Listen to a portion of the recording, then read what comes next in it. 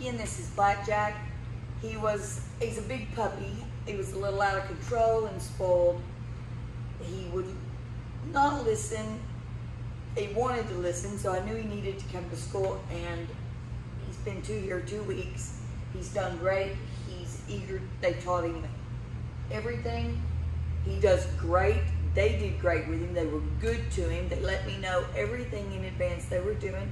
They stayed in contact with me, and overall, I couldn't be more pleased with them and the way Black Jack has turned out in two weeks.